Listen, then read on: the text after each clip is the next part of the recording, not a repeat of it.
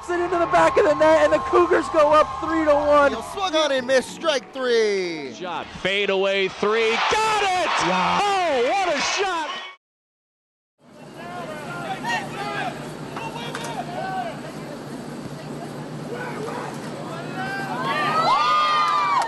It was a tough match, and they were very tough.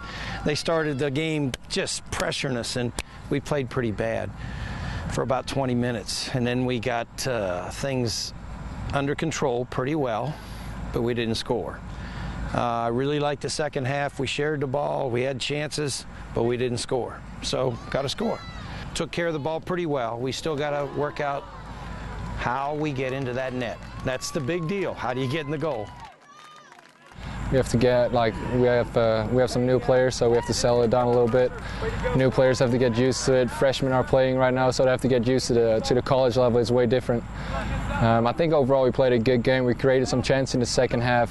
First half wasn't that great, but we picked it up uh, during uh, during the second half. We're starting to settle down and play the, the kind of football that we like, which is a nice style where we're just trying to keep the ball and uh, make sure we have more possession than the team and and get to goal. So possession with penetration and uh, just really create chances for our team. Um, the team's starting to shape up and, and get together. So we're looking forward to uh, next Friday night.